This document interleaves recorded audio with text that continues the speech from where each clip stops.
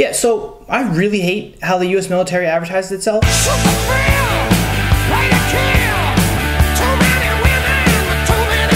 No, I don't want to get political because I hate talking about politics. They're boring and stupid and dumb, and nobody ever has fun. But that might get difficult because I'm talking about the military. Because uh, I don't know if you know this,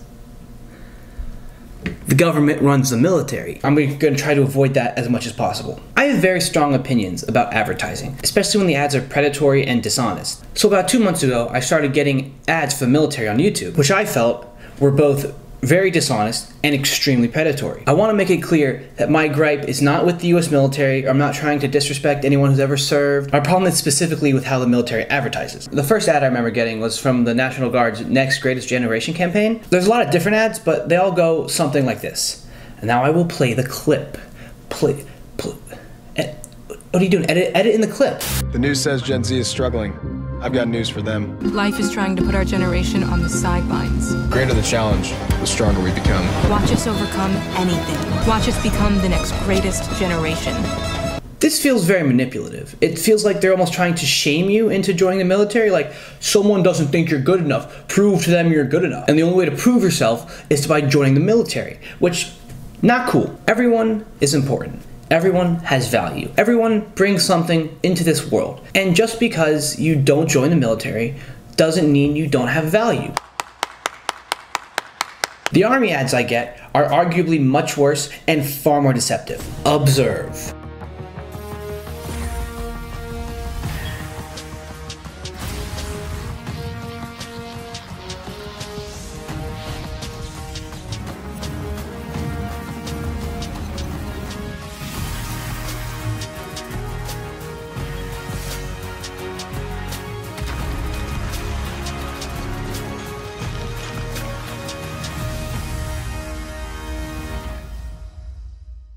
Look me in the eye right now and tell me that doesn't look like a fucking video game. I, I really don't like this because it glorifies the army. It makes it seem like you'll be a badass and super cool if you join. Do you know how fucking dangerous the army is? You're killing people. Your life is in danger. You're going off to war. Don't make it look cool. By far, the one that pissed me off the most was this ad from the US Marines called The Battle to Belong. It's a longer ad, but it starts out like this. Searching for meaning in a relentless world always connected, but somehow alone, trapped by illusion.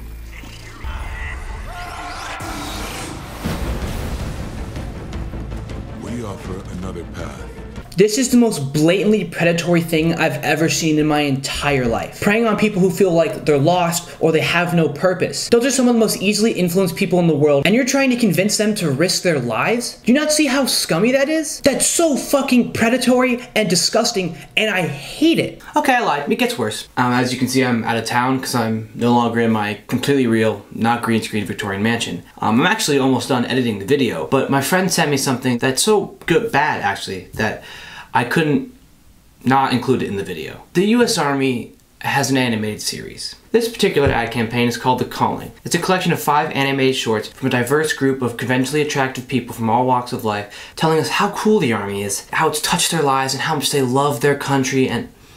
Hold on a second.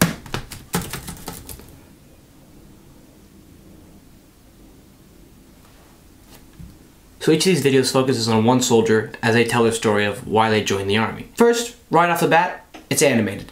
Uh, what demographic does animation usually target? Oh, that's right, children. You guys remember what we talked about last section about preying on people who are easily influenced? Yeah, children fall into that category too. These videos are so clearly marketing to children that not only is it animated, but the people featured chose to enlist at a very young age, and worst of all, it brought to my attention that you can enlist at 17? What? I, th I thought it was 18. That's an actual child. You are you're still in high school. So, let's walk through this. You turn 17. You're still in high school. That hasn't changed. You still live at home. That hasn't changed. You can't vote, drink, or smoke. That hasn't changed. You can now go see R-rated movies because up until then, blood, sex, and cussing were too inappropriate for you. You can now buy M-rated video games like Call of Duty because up until this point, seeing acts of war was just, it was too extreme for your little mind. And now finally, on top of that, you can now ship off to war and be put in a situation where you either have to kill someone or risk being killed yourself. Yeah, because that makes sense. That's what we call in the biz. sarcasm because it doesn't make sense. It's very bad. Up until this point, the ads had only subtly been marketing to children, but these ads explicitly tell you you can enlist at 17 So as soon as I turned 17, I asked for my dad's blessing to enlist. and then proceed to tell you how cool the army is. One of the shorts even makes a point of saying that you don't need good grades or to be considered smart to join the military. I never considered myself to be a smart person. I struggled to keep up in class.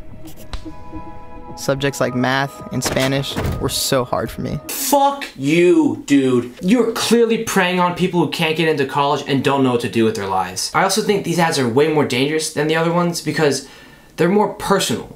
Like the other ads were just like some vague entity or group like telling you, oh, the military is pretty cool. But these ads are just a single person telling you their life story. It's someone you can connect with. So, you know, it'd be easier to convince you to join the military. These ads are unethical. I, I had a hard time writing this section because it's so clear that what these ads are doing are wrong, I couldn't even quantify it. You should just be able to look at it and be like, yeah, this is wrong. So I didn't write an outro to this video.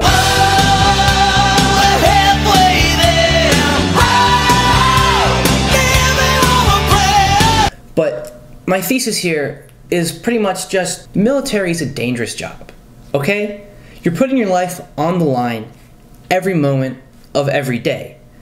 And to advertise it in a way that doesn't highlight how dangerous and all the risks that come with that job, it's underhanded and bad. It makes me upset because these ads are often targeting young people, high schoolers even. And to go out there and glorify killing and stuff like that to almost children and like young people who don't really know what they want to do with their life, it's not cool. These ads severely undercut the danger and risk that come with joining the military. And with how dangerous that job is, that is something that you should know going in. And to advertise something this dangerous and this risky in a way that that doesn't show that is criminal almost.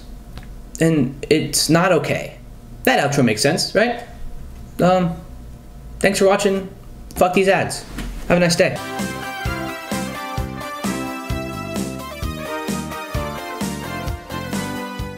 No, I don't want to get political because uh, Paul. There's a. Hear that police car? Hold on. I don't think that framing looks good. Now the ice cream truck is here. Oh my god. Oh my god, now there's a fucking screaming kid. This particular camp this particular ad campaign is called Fuck, okay. It's a it's a collection of five animated shorts from a group of it's a collection of five animated shorts from a diverse group of conventionally attractive people from all walks of life, telling us how cool the army is, how much they love their country, and how much the army's changed their lives, and how it was their calling. Hold on a second. It's a collection of five animated shorts from a diverse group of racially no fuck fuck fuck fuck. It's five animated shorts from a from a. This particular ad campaign has it's a good. Fuck. Okay, how much how much time was I fucking filming? Thank you for the time.